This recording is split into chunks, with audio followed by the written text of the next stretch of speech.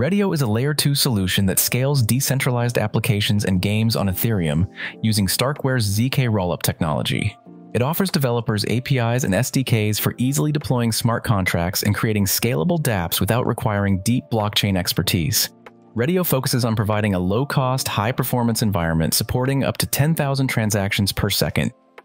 Reddio has launched a testnet. We can start interacting with the test network to increase our chances of getting airdrop. Testnet doesn't take long and is available to everyone. Here is a step-by-step instruction on participating. Go to the website, connect your wallet, and add the Reddio testnet to your wallet. Request test tokens from the faucet. Go to the Bridge website, connect your wallet, and send the test tokens from the Sepolia network to the Reddio test network. Note that ETH will be converted to RedETH. Open the Withdraw tab and send the RedETH and Red Test tokens to the Sepolia test network. Then click Claim and claim both tokens in the Sepolia test network. Repeat these steps periodically to increase your activity in the test network. Now let's move to another exciting opportunity.